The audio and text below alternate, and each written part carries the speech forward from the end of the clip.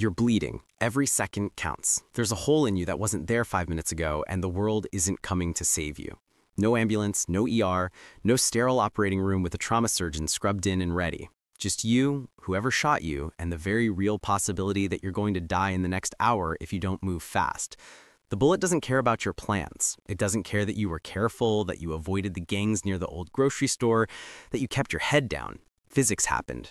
Metal traveled through your body at somewhere between 800 and 3,000 feet per second, and now there's a tunnel of destroyed tissue that's leaking the fluid you need to stay conscious. You've got maybe three problems happening at once. You're bleeding, you're going into shock, and if you survive the next six hours, infection is going to try to finish with the bullet started.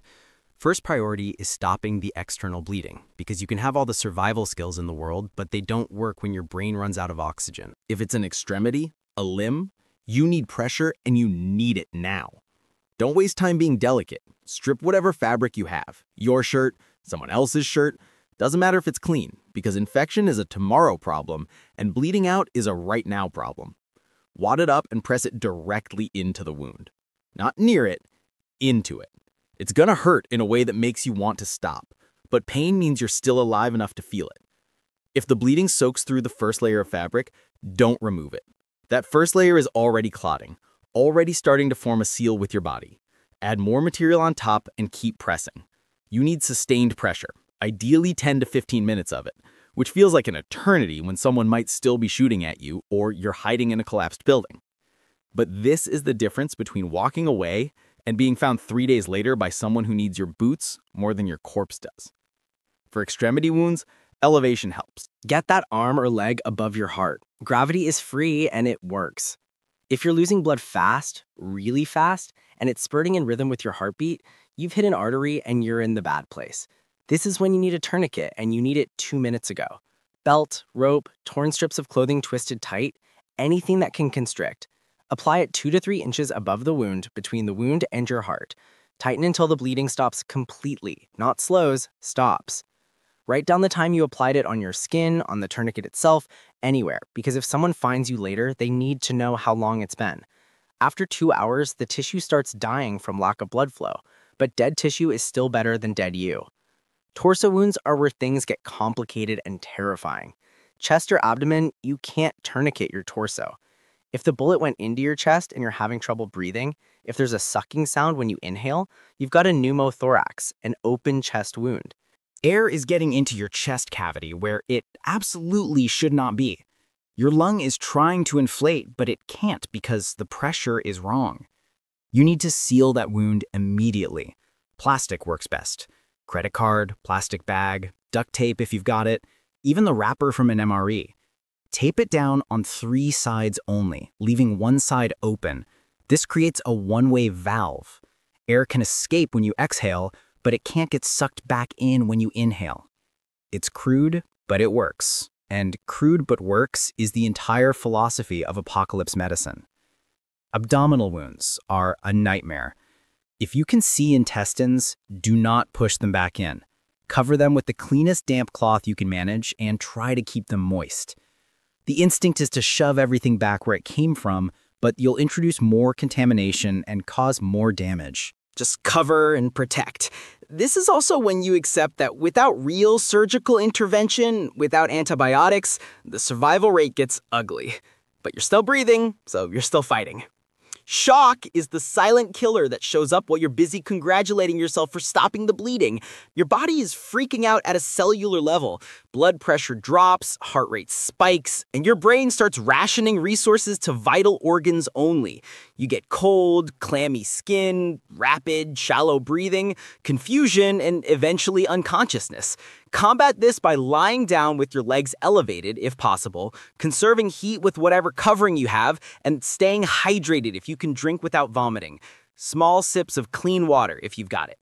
If you're treating someone else and they're going into shock, keep them talking, keep them conscious, because once they slip away, they might not come back. Pain management is going to be whatever you can find. Alcohol works as a disinfectant, and if you drink enough of it, as a crude anesthetic, but it also dehydrates you and thins your blood, so use it sparingly. If you've stockpiled medications, ibuprofen or acetaminophen is better than nothing. Avoid aspirin because it interferes with clotting. Now the exit wound, if there is one. The bullet might still be inside you or it might have passed through completely. An exit wound is usually larger, more ragged because the bullet has tumbled and deformed and is carrying bits of tissue with it. Treat it the same as the entry wound. Pressure, covering, elevation if applicable.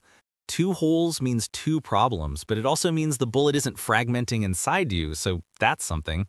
The infection clock starts ticking immediately. Bullets aren't sterile. They pick up fabric, dirt, bacteria, whatever they pass through on the way to you. Even if you stop the bleeding and stabilized, in the next 24 to 72 hours, bacteria are going to colonize that wound tract and start throwing a party that ends in sepsis, fever, delirium, and death. You need to clean the wound as soon as you're stable enough to do it. Boiled water that's been cooled or the cleanest water you can find. Irrigation is better than wiping because wiping can drive bacteria deeper. If you've got honey, real honey, not the corn syrup stuff, it has antibacterial properties and has been used for wound care for thousands of years. Pack the wound lightly if it's deep. Antibiotics are worth their weight in gold now. Fish antibiotics from pet stores, veterinary supplies, anything in the amoxicillin or cephalexin family.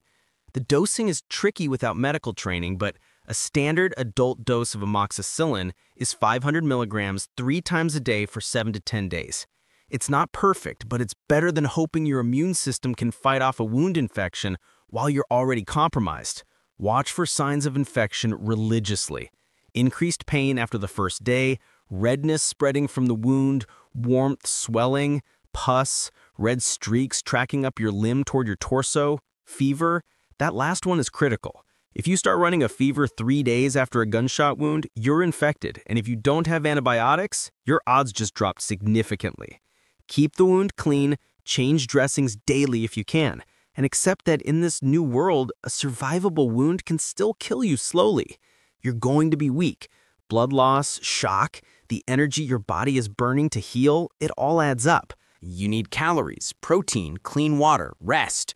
You need to not get shot again while you're recovering, which means staying hidden, staying quiet, staying away from whatever situation got you shot in the first place.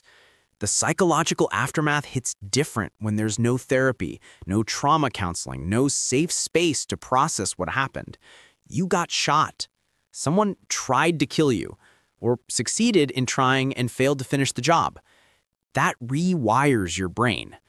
Hypervigilance, nightmares, the flinch response to loud noises, they're all going to show up. Acknowledge them, work through them, but don't let them make you sloppy. Paranoia keeps you alive. Panic gets you killed. This is the reality of bullet wounds after the collapse. No miraculous rescue, no clean hospital beds. Just you, your knowledge, and whatever supplies you've managed to gather or improvise. The wound is survivable if you're fast, smart, and ruthless about stopping the bleeding and preventing infection. But it's going to test everything you think you know about pain, about willpower, about what your body can endure. You're bleeding, but you're still here. And every second you buy yourself is one more second to figure out how to keep going. Press harder, move faster, stay conscious. The world ended, but you haven't. Not yet.